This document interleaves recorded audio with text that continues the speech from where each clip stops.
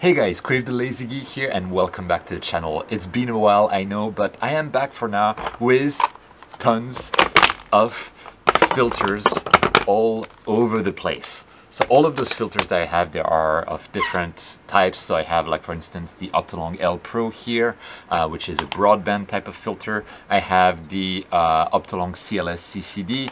I have somewhere a UVIR cut filter from SVBony, but I also have like narrowband filters from uh, Baader, from uh, Astrodon, and uh, dual band filters like from Antlia or from Optolong or from IDAS for instance. And why do I have all of those filters with me today is because I am going to be testing those filters and quantifying them in a proper way using a digital spectrometer. And you may be asking yourself, why? Why would I need to do that? Well, if you do, if you are asking yourself that, you probably haven't seen my most recent videos, which talk about how filters can lie to you and can be very inconsistent and not quite up to specifications. And uh, the nature of filters, especially narrowband filters, even if they work a little bit even though they work like 20% of their specifications, it will look to the inexperienced amateur, or even the experienced amateur actually, that they're working fine when you're really losing a lot of imaging time uh, that you would not be losing if you had a, a filter that performed up to specifications. And for instance, in one video, I uh, talked about the uh, L-Extreme and how it was very inconsistent between different people. Some people, for instance, using it on uh, a RASA type of telescope, so very fast focal ratio and very large central aperture, uh, completely lost all H-alpha signal. Whereas when I use it with my uh, RASA equivalent telescope, my Hyperstar C6, I get the H-alpha. Why? It's because not all Optolong extremes are built equally. And similarly, I mentioned a lot of issues I've had with my uh, Baader narrowband filters that are optimized for fast telescopes, especially things like RASA or Hyperstar. And uh, here I'm going to be able to quantify all of those issues.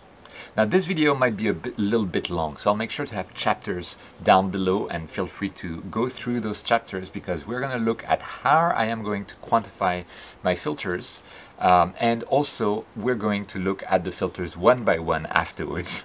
so it's going to take a little bit of time. The main tool that I will be using for uh, quantifying those filters or qualifying those filters, whatever the right word is, is in this little black box by uh, Goya Lab. So Goya Lab is a French startup company that provides, uh, well, spectrometers and spectrometers lets you analyze spectrums.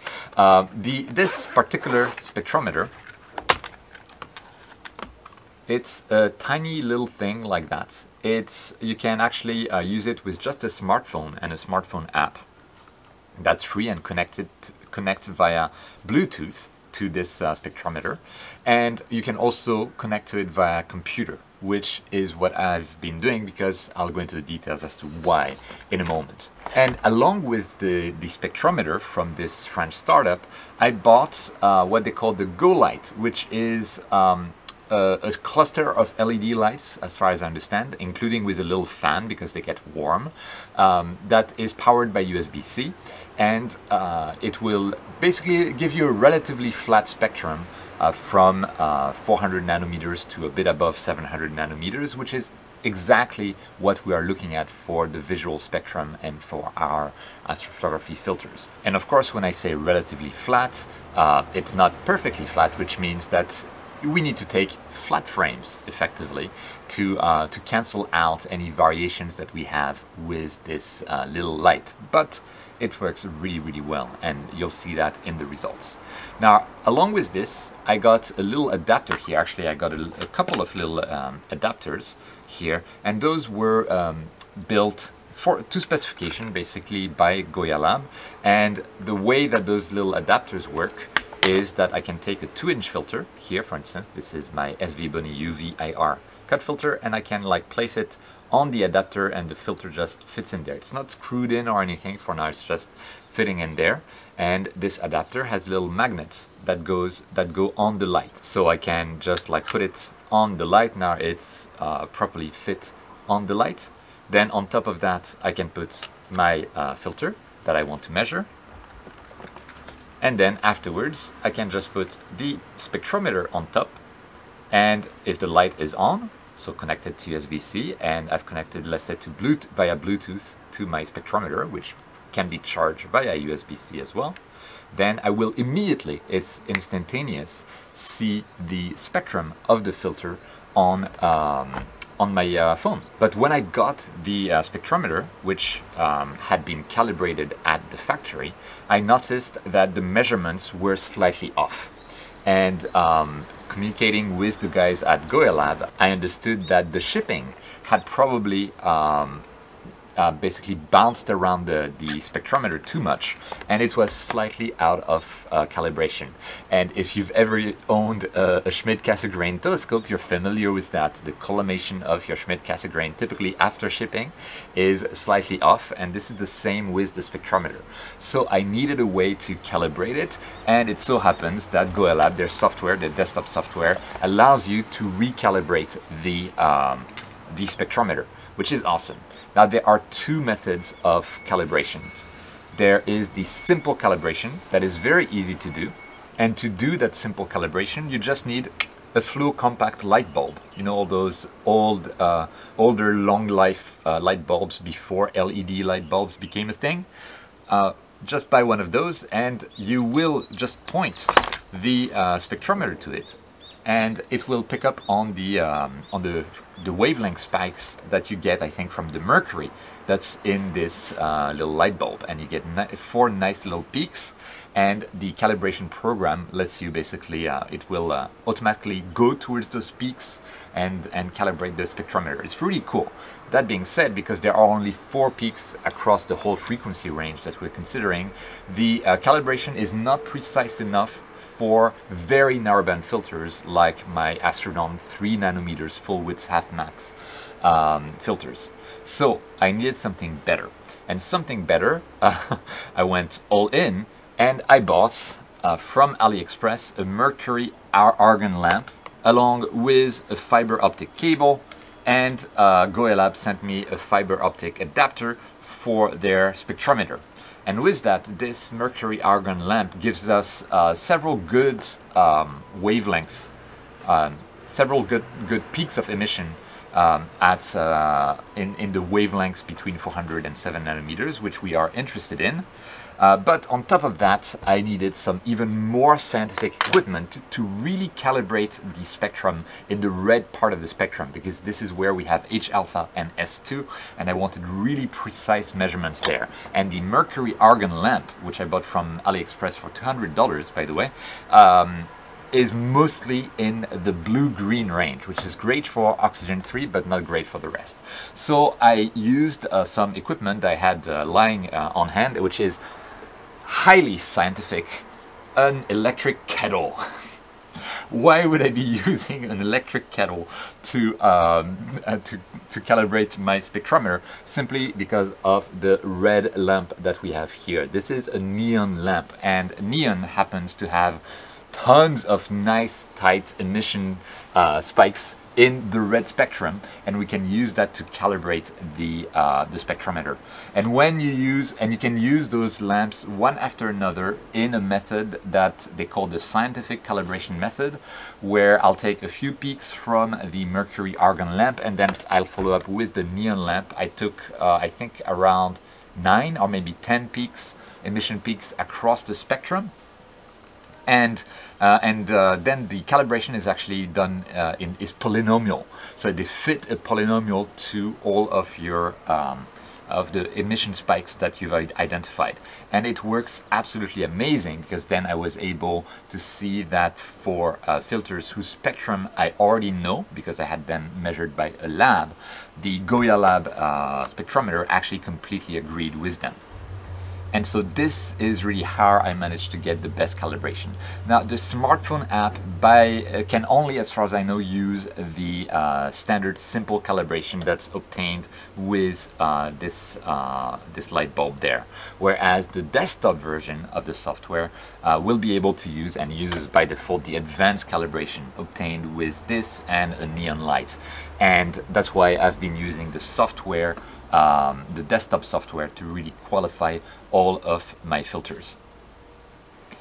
Okay, so now what is the cost of this uh, spectrometer?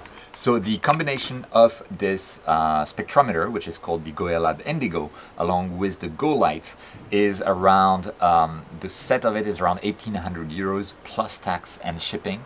So it is not cheap. The, um, and the mercury argon lamp that, I, that you really want if you're going to characterize narrowband filters is 200 it was 211 dollars if I remember correctly from AliExpress. And then my neon light bulb came with my uh, electric kettle which was very very cheap. But overall you're looking at a bit above $2,000 to qualify all of your filters. Now, I want to make it clear, by the way, uh, I am not receiving any payment or anything from Goya Lab, and uh, this spectrometer was not sent to me for free. I did get a small discount on both the spectrometer and the uh, light, but I had to pay for it, right? And it's, it's a lot of money. But it is the only solution that I could find that was both uh, out of the box working, easy to calibrate, for really precise calibration, extremely precise to qualify filters, and you're going to see the results once we go back inside. But uh, why would anyone in their right mind spend so much money above $2,000 on a spectrometer and the tools to make sure that it's perfectly calibrated even after shipping?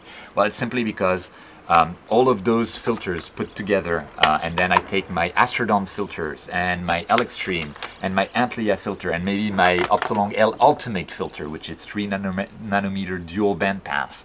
All of those filters they cost a lot of money and if they don't perform to spec I've effectively wasted my money and I don't even know it right? And that is absolutely terrible. So if I'm, let's say, an advanced amateur astrophotographer, I've already spent $10,000 on my setup, maybe more, and I have, I'm planning to buy tons and tons of filters across my astrophotography career, right? And if you're starting astrophotography, especially if you're in a, in a city like here in Tokyo, you are going to buy thousands of dollars worth of filters throughout the, your career.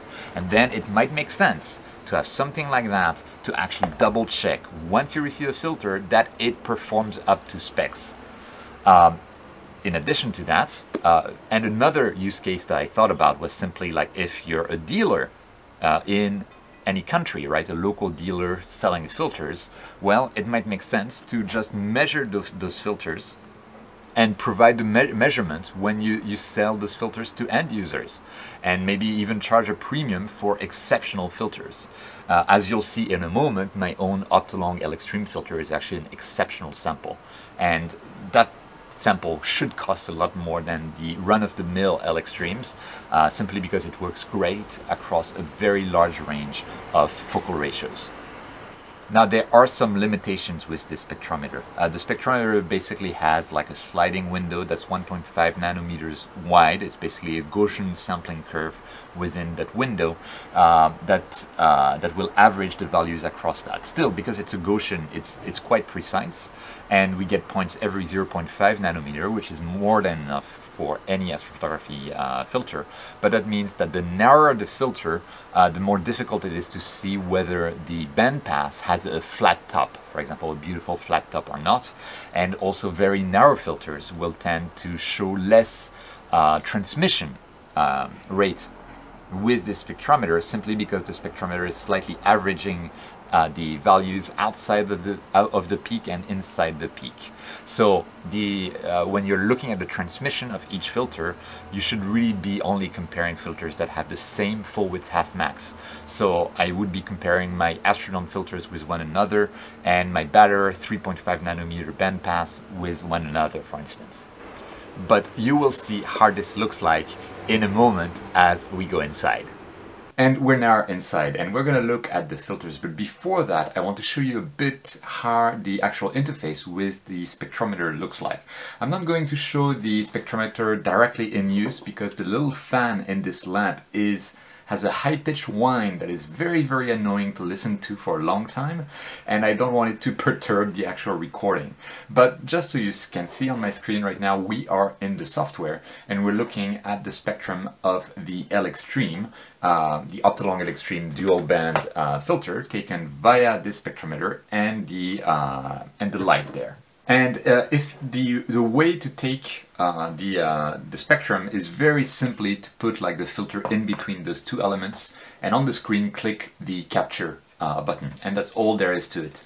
Uh, we can also take a dark frame which basically tells us like what is the base noise level floor at each wavelength of the, uh, the whole system and we can take a reference frame which is very close to what we would call a, a, flat frame for us which is the spectrum of the white light here without any filter so then we can properly do comparisons because it's slightly wavy and so we want to be able to normalize all of that. And with that, we're able to look at the uh, L-Extreme here, and I can uh, I can have a cursor and examine stuff, so we can see the uh, the tip of that particular pike is around 501 nanometers. Uh, this one is around like 557.5. Uh, we'll look into the details of the L-Extreme uh, later on. And within the software, what's uh, very interesting, besides like zooming in, out, auto scaling, all this kind of stuff, choosing your exposure and calibrating your camera, is that because I have taken a reference frame, frame I can also look, right now I'm looking at absolute values, uh, which are like random units from the camera basically. And uh, you can see that the oxygen 3 spike looks higher than the H-alpha spike, but this is actually due to the spectrum of that little light there. Once we take the spectrum out of it, we can now, we're now in percentage of transmittance and we can see that in actuality the H-alpha is slightly higher than the oxygen 3. But there's tons of cool little features that we have in here as well. If I want to go really deep inside the analysis, I can actually uh, use math to take uh, the um, derivative of my curve. So I'm going to remove the initial curve, which tells us where the transmission is. Um, so uh, just to be clear, uh, on the left we have the intensity, on the bottom we have the wavelength. And I'm going to take the derivative. And you can see that with the derivative we get this little like wave-ish pattern. And this is really cool because it tells us actually where the middle of the bandpass is. Simply where it crosses zero is where the maximum of the bandpass was. So where its middle is really. And I can just see that it's actually at 501.6 roughly and what's also interesting is that if we are interested in knowing how wide or how narrow the bandpass is, uh, which is uh, measured by the full width half max uh, parameter, we can actually use the pikes at the at the two two ends there. And ideally I'd want it, it to be roughly at the middle of this little flat area so maybe something like this. So we can see that the filter on one side is roughly 498.6 nanometers. On the other side it's roughly 5 or 6.6. So rather than 7 nanometers, we might have around 7.5 or 8 nanometers of full width half max compared to the uh, specified 7 nanometers. Now if we look at the uh, H-alpha piece, we can do the same thing, except the middle, the H-alpha, the, the shape of that curve, uh, the, the top was a bit like curvy, which means that the middle, we probably want to look at it around here and we can see it's uh, 658.5 and if we want to do the same analysis I can go in the in the peaks there. We have 661.17 and the other one is 654.69 and so in this case we have around 6.5 nanometers uh, compared to the quoted 7 nanometers which is better than specification right? So this is very interesting you can really go in depth within the software itself now what I did, however, is go a bit crazy and uh, measure all of my filters. uh, all of my all of my astrophotography filters and I put them all in the uh, the same chart here. And you can see all of my filters here. I'm just gonna uh, disable most of them so we can start with the uh, simple stuff which is going to be my uh, SVBony UV IR cut filter, which is that green line there. And you can see this is a great filter um, overall because it has around like 92% transmission, sometimes around here 96% transmission. So you can see the um, y-axis is the transmission, 1 is 100%, 0 is 0%. On the bottom we have the wavelength and I'm looking at around 400 to 720 nanometers here and uh, the the bandpass actually ends a bit to the left of here so there's a there's an actual cutoff but the spectrum emitted by this particular light is not quite enough for me to give you good results there but we can see that the drop off on the other side of things is around 700 uh, nanometers, which is exactly as per specifications of this uh, UV-IR cut filter. So this is doing really well for now. And uh, wideband filters, they tend to be much easier to manufacture. And this one, for the moment, it has my seal of approval. And this is a really, really cheap UV-IR cut filter and seems to be perfectly fine. So this is great. Now we can look at the Optolong L Pro. Uh, the Optolong L Pro, which we can see in red here, uh, it's the spectrum itself is pretty much as per, as per specifications. So if you look at the actual uh, specification curve and you compare, compare it to this, you can see pretty much the same thing.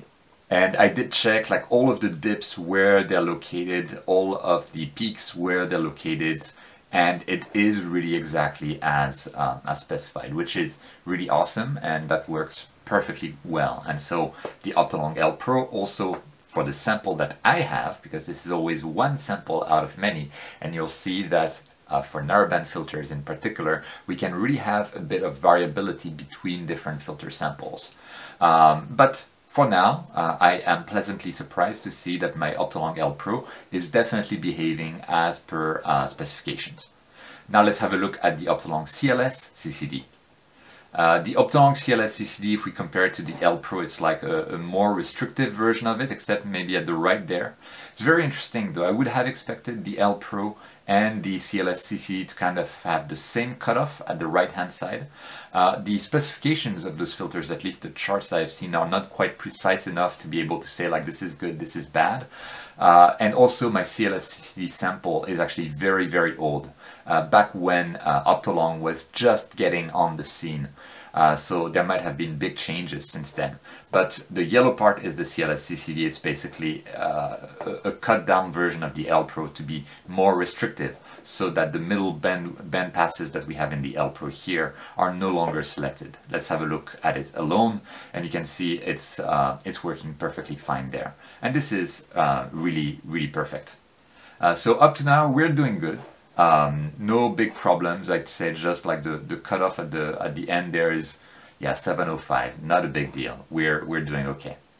And now we're going to go towards our narrowband filters. I'll start with uh, dual band uh, filters, uh, where, for which I have uh, the IDAS NBZ, uh, the uh, Optolong L Extreme, and the Antlia ALPT filters, aka the golden filter. And those are very interesting.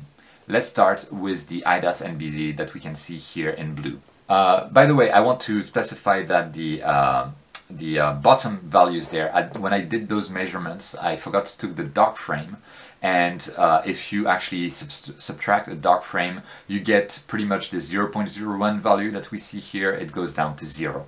So off-band rejection is typically quite good. And I'll uh, mentioning it out when off-band re rejection uh, of the band passes that uh, of the uh, wavelengths that we don't want passed is bad. And here the this IDAS filter looks overall really neat. So we can have a look at the top of uh, the um, of the bandpass here, and we can see it's 498.5 nanometers, which if you know the uh, wavelengths of oxygen 3, which is what this little wave there is trying to get, you'd be like, hey, this is not correct. Uh, oxygen 3 is 500.7, but there's actually two uh, wavelengths for oxygen 3, so there's 500.7, which we want to capture. There's also one around, I think, 496, if I remember correctly. And what's very interesting is you can see 496 is very close to the top, and uh, 501 or 5, 500.5 is also very close to the top. So this this bandpass there on the oxygen 3 side is very well built so that you have close to maximum transmission, which by the way is around 96%, which is very, very good. Um, and it's engineered so that it passes both. The one at 496 is typically one third um, of the signal of the one at 500.7, but is very much worth uh, including. Um, and the uh, full width have max, if we uh, look at it, so we have uh, roughly uh, 504.5 on one side and around uh, 492 uh, on the other. So I would say, yeah, 12.5 nanometers maybe 12 nanometers. I mean, the quoted specification is 12 nanometer full width half max. We are measuring 12.5 nanometer. Yeah, okay, just like the Optolong L-Extreme, I think we can have very small variabilities, and this could be due to the spectrometer itself. So I'm, I'm looking at that as okay. So on the oxygen 3 side of things, everything is great for that filter. And if we go to the H-alpha, we can see we have a nice uh, transmission as well with uh, overall we have like something like 97% uh, transmission, which is like at the very tip, maybe even 98.5% transmission, which is absolutely amazing. And the uh, full width half max, again, 653 to uh, 665, 12 nanometer basically. So it is as per uh, specifications. And uh, what's very interesting is that H alpha, the frequency, the wavelength that we're looking at here is at 656.3, uh, I think and uh, we can see that 656.5 uh, is actually the very tip, the highest value of transmission of that spectrum. Again, like really, really good there. And I, I really like um, this filter and you can see it's well designed and well built. And you can see that the H-alpha also happens to be on the left hand side of the uh, of the, uh, the, the bandpass, the actual wave.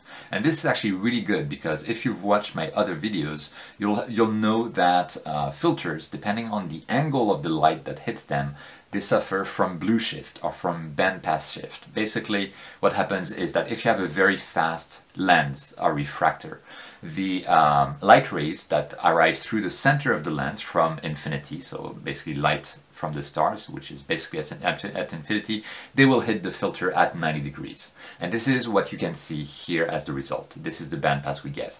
But for those light rays that reach the edge of your objective lens, uh, it, they will reach the angle, uh, the filter at an angle. And because of the way that those filters are built, this will cause a shift of the bandpass to the left, so towards the blue. And that shift is more pronounced in the red spectrum, so H-alpha sulfur 2, than it is in the blue spectrum, like oxygen 3. So having this, uh, the, the peak of H-alpha towards the left of the bandpass, it's actually really great because that means I can suffer a lot of bandpass shift uh, before you know my my actual bandpass starts to not capture H alpha anymore. Um, and so this is really, really good to see uh, in this particular case. And uh, this kind of thing, by the way, is particularly important if you use a system like a Hyperstar telescope or a RASA telescope because you have very fast focal ratios, which means that from the edge of the objective lens, the angle is really quite extreme to the filter, but at the same time, you, ha you have a central obstruction, so you do not have any light rays that are 90 degrees to the filter. So you never get this ideal bandpass, right? For any of the light rays that enter your system and hit the filter. So that's why this is really good to see. If I'd had to complain about one thing about this filter is that the off-band rejection sometimes is like this, this little uh, little thing there with uh, 3-4% transmission, uh, which, you know, is not great. It, it, will let in some light pollution, but not a big deal, and we can, uh, we can forget about it. So that is for the IDAS NBZ. And now let's have a look at the Optolong L Extreme. So you can see compared to the IDAS NBZ that is in blue and the Optolong L Extreme is in purple, the Optolong L Extreme appears to have much less uh, transmission. And this is actually a limitation, I, as I mentioned at the start of the video, I believe, a limitation of this little spectrometer because its sliding window to measure is, uh, is averaging via basically a Gaussian curve um, with a full width half max, max of 1.5 nanometer to get the value of each point, which means that when you have a very narrow bandpass, even when, when it is at the top of that bandpass, it will be averaging out the value with the, the highest transmission and then values next to it that have less transmission. So uh, we cannot compare really the, the transmission uh, values of the IDAS NBZ to the Optolong Extreme. If I still had my Altair Astro 7 nanometer bandpass dual band filter, I'd be able to compare apples to apples. But here I'm not able to, so I'm not going to try. Um, I do know that for the IDAS uh, NBZ, the 12 nanometer uh, bandpass is enough to really work around that limitation of my spectrometer. At any rate, let's have a look at this. So if we look at the top of the, uh, of the oxygen 3 bandpass, you can see the top is actually around 501.5. this doesn't look very good, right? The, the peak is at 501.5. It means that if you look at 500.5 or 501, roughly, so the, the real peak of oxygen 3, where I have my mouse right now, um, it, it, feels like we're missing something, right? We're, we're not at the maximum transmission, but we're still very close to the maximum transmission. And remember the blue shift the bandpass shift with high light incidence angles. It means that for oxygen 3 at least, even with a lot of shift, my bandpass will start shifting to the left, which means that maybe at f4 or even f3 I'll start having better transmission uh, than at f7 or f10 because the bandpass for the high incidence light rays has shifted to the left. And so that means that my Optolong filter can work excellently uh, with with uh, fast focal ratio telescopes, which I have actually seen in uh, some of my previous videos and I was very surprised at, by the way. Now, uh, the full width half max, if we look at it roughly, um, let's say 498.5 to let's say, yeah, five, I'll be a bit generous with that. Uh, 505.5, that would be uh, 7 nanometers, but as we saw earlier in the video, we already measured it, it was more like 7.5 nanometer is in oxygen 3. Uh, if we look at this part here, we can now see that 656.5 or 0.3, which is what we want to capture, it's, as we were saying, towards the left-hand side of the bandpass, which is awesome uh, because again, and the, the, the H-alpha uh, wavelengths is more, uh, the, the H-alpha bandpass is actually more uh, sensitive to this band, bandpass shift. It means that it will be passed even at high incidence angles. So even with uh, telescopes like RASA or my Hyperstar C6, we're to get, get great results. And this is also what I observed when I was uh, testing out this filter. But my filter is a jewel among Optolong L-Extremes because as I detailed in another video, there can be a lot of variability between those Optolong L-Extremes. Some are only good at like f7, others are good down to f4 and then they start losing h-alpha if you go faster than that. Uh, like um, we, I saw some YouTube videos where uh, we were getting no h-alpha basically at all at f2 on a RASA telescope simply because the light incidence angles made h-alpha, uh, made the bandpass shift too much for h-alpha. But my filter is extremely resistant to that. I have an exceptional sample of the Optolong L-Extreme, which is awesome. Okay, uh, let's, and we already uh, looked at the uh, bandpass uh, FWHM, which was around 6.5 nanometers. Let's go to the next one, which is the Antlia ALPT, which has uh, bandpasses of 5 nanometers. Now, just like before, the bandpasses are tighter than the L-Extreme, so the transmission values can't really be uh, compared. So I'm not going to try to quantify the uh, transmission. That said, we can say see that in uh, oxygen 3 it is uh, much lower than uh, in H-alpha. Uh, so let's look a bit at the oxygen 3 piece. So we can see that if I go and I look at where my oxygen 3 um, bandpass that I'm searching for is, we can see 500.5 our 501, so it's in between those two points. We can see we don't have the maximum transmission for the main oxygen 3 uh, bandpass, or wavelengths, emission wavelengths. And, uh, and plus, the more we get bandpass shift, the, the weaker this is going to be. This is not starting well. Now, if we look at 496, we can see it's also, it's there as well, it's quite low, so this might rescue this filter a little bit and uh, this value will actually get stronger with bandpass shift. So maybe it is intentional, I am not sure, but for such a very narrowband filter, I would actually have expected uh, this uh, 500.7 value to be better centered. Um, but maybe it was a strategy. Uh, I didn't see that many issues with Oxygen 3 even at fast speeds, so it's possibly indeed rescued by this 496 nanometer emission band of oxygen 3. So I'd say uh, probably okay, but it, I'm not sure whether this is exactly what uh, Antlia was looking for in, in their filters. Now, if we go towards the uh, right-hand side, uh, sorry, let's go first to the, the, FWHM. We can see it's roughly 496.5 to uh, 502, which would give us roughly 5.5 nanometer uh, full width half max, which is like close enough to specifications. If we look at um, H-alpha, we can see another piece where uh, H-alpha is like um, it's around here, 656.5, uh, right? It's towards the right right hand side. Plus, we might have some uh, small error of measurement of up to 0.5 nanometers. Uh, but still, even then, you can see it's more towards the right hand side of the uh, bandpass, uh, which means that it will be more affected by blue shift, so by high incidence angle of the light than uh, than other filters like my L-Extreme. And actually, I've tested this ALPT at f3 and at f2, and it was actually quite bad uh, at f2 and, and mediocre at f3 for H alpha. So this this measurement really confirms my feeling about this filter. I think it's a great filter, but I'm wondering whether there is variability between the different samples that were built and whether you know the the H alpha wavelengths might not be slightly better uh, it might not be better to have it slightly better centered. Uh, so that's for the um, Antlia.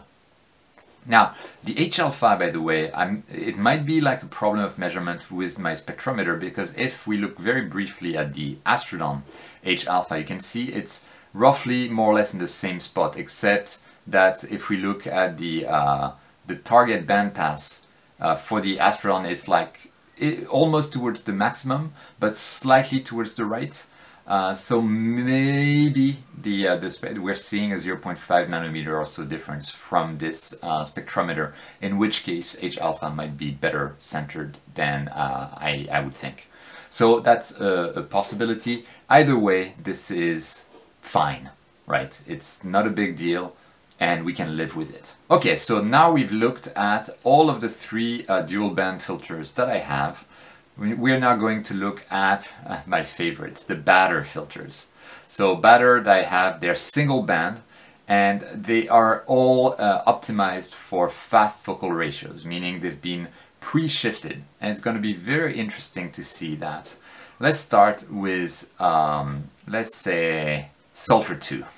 So I actually have two sulfur 2 Baader filters. One is 36 uh, millimeter uh, diameter and the other is 2 inch diameter and sh they should be the same specs and in effectively we can see they're roughly uh, the same.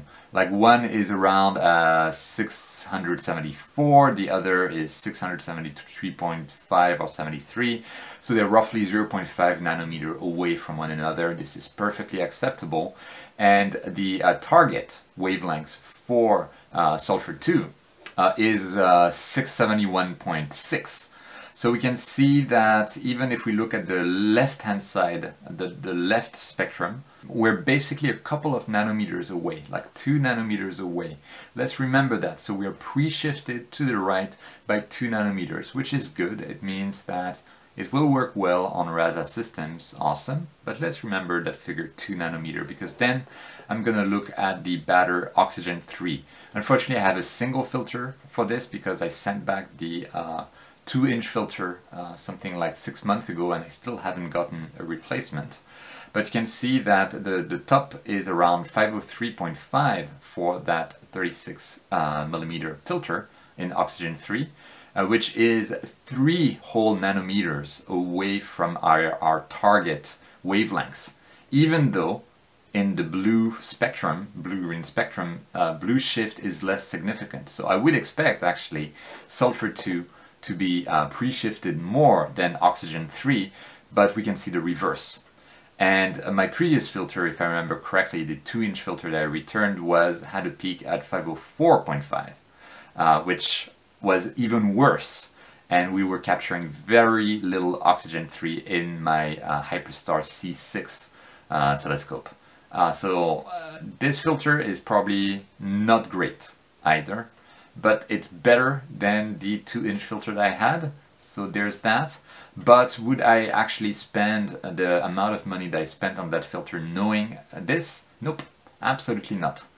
Uh, and, and this filter probably is not going to work very well in a fast newt, right? Because it's pre-shifted too much in terms of the, uh, the oxygen 3. So this is another disappointing oxygen 3 filter, although I cannot say that I'm uh, surprised since uh, the, the previous one that I had, the 2 inch, was even worse.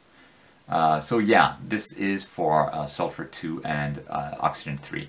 I'm not going to go through the F, uh, uh, the, the full width half max measurement in, in for each of those filters. Suffice it to say that they're actually pretty good and they're, they're typically around 4 nanometer and they're basically up to spec, which is perfectly fine. Let's have a quick look at the Baader H alpha. And here it's very interesting, aldehyde sulfur 2 and oxygen 3. Okay, these two filters, one is a 2-inch H-alpha pre-shifted filter, the other is a 36mm H-alpha pre-shifted filter. They're supposed to be identical. Um, do they look identical to you? They're not. They're not identical. Uh, the peak of one is around uh, 658, the other is 659.5. Uh, so we have 1.5 nanometer difference between the two. It's much larger than what we saw with sulfur 2 where they were much more consistent. So again, we can see that we don't have a very consistent um, filter manufacturing capability, at least when I bought those filters six, seven months ago now.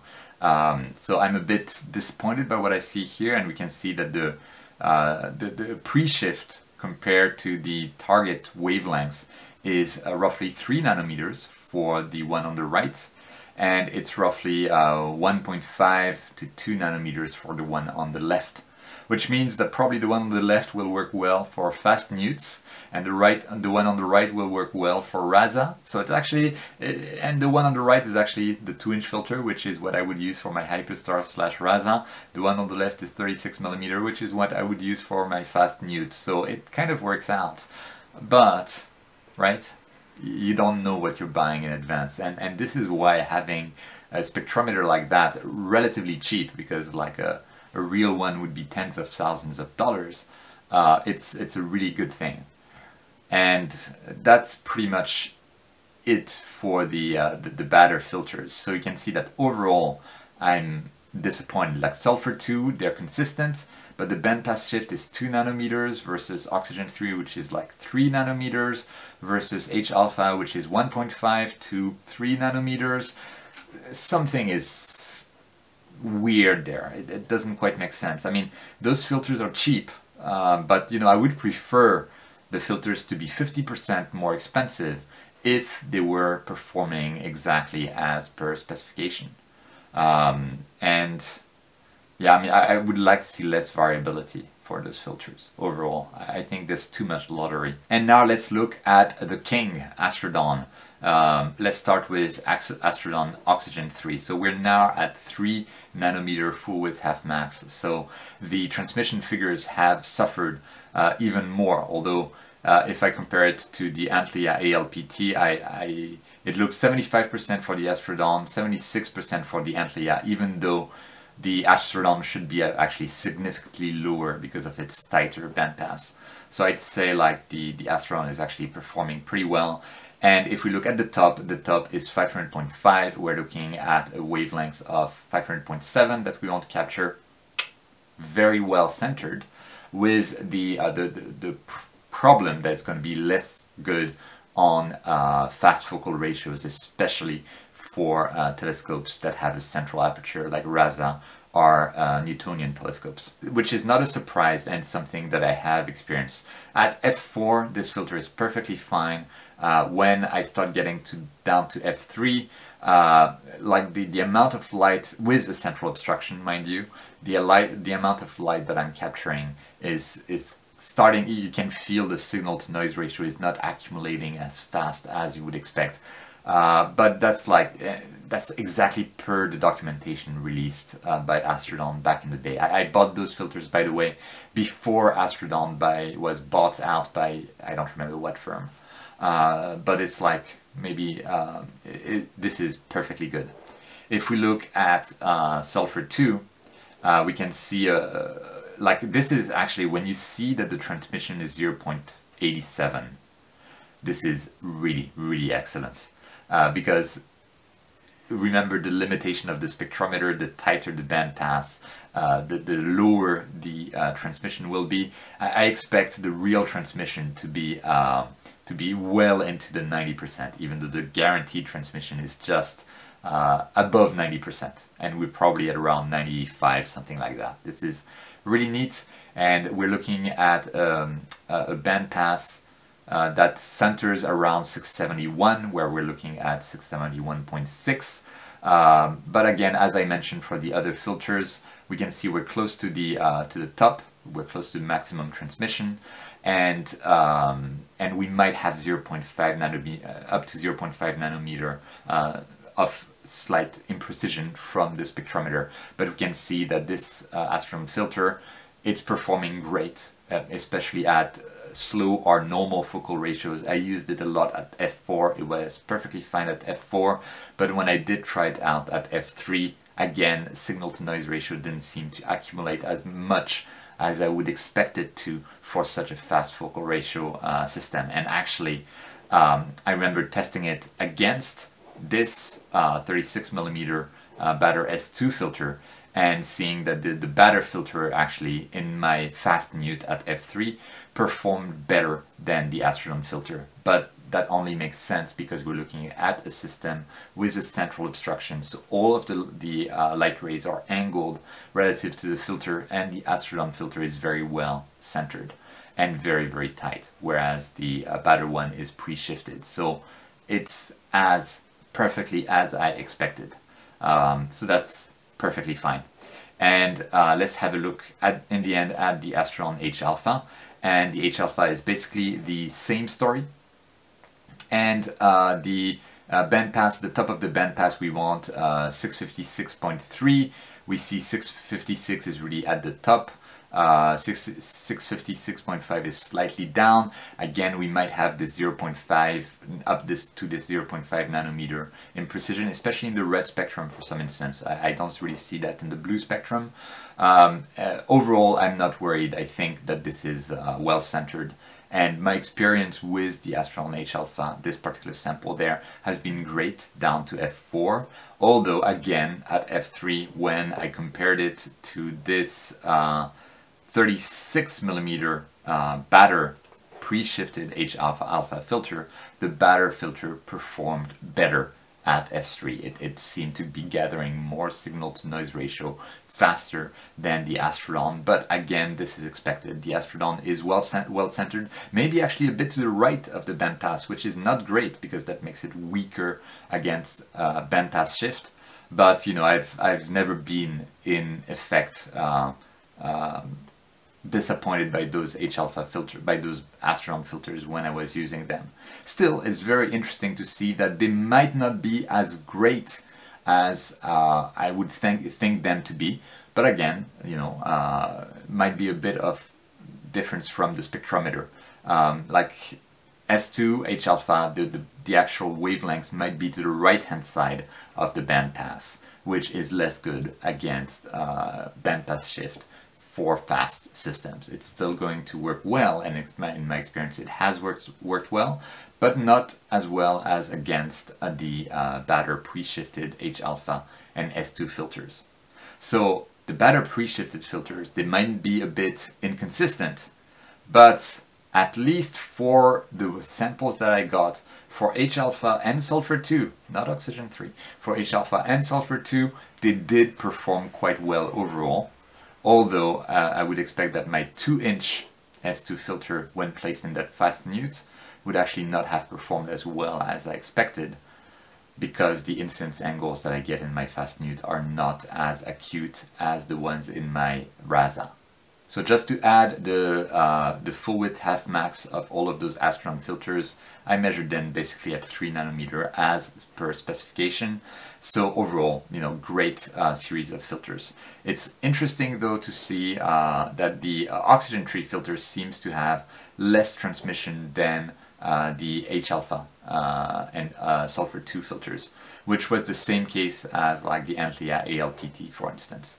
Um, and I, am pretty sure we're comparing apples to apples here. So quite interesting. And uh, I'm not actually completely sure, going back to the Oxygen 3 from Astrodon, whether if uh, I didn't have the limitation of my spectrometer, we, whether we would reach even 90% transmission, even though that's the guaranteed uh, transmission floor for the uh, for the filter. I don't know. So Astrodon, awesome, uh, but there could be some uh, little limitations there.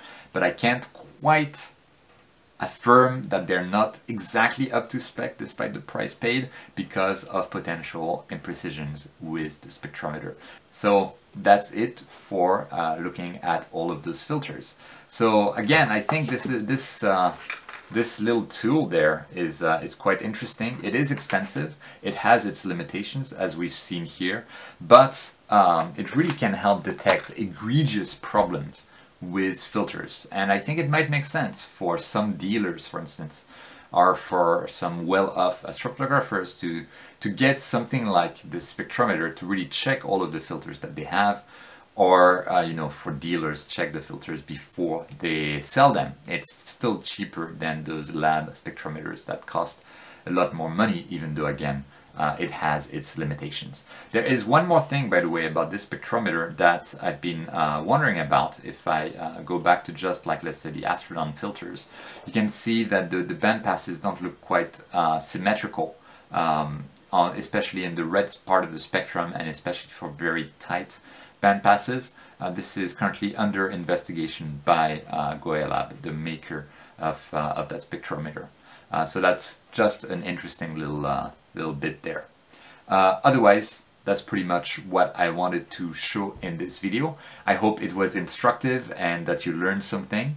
Um, and uh, you know, it's like there is lottery in the filters. Overall, I am I'm pleased by, by what I'm seeing. There's really no filter except maybe the Oxygen 3 from Baader that really I would definitely not buy. And the Antlia, it's a bit like dodgy, but then it still gets some of its band of the Oxygen 3 band, band pass uh, or wavelengths at 496 so it's actually working pretty decently and we can see the Antlia is actually um, if we look at the uh, we compare it to the uh, Astrodon it's actually centered exactly almost exactly the same as the Astrodon in the H alpha which is always um, a good sign.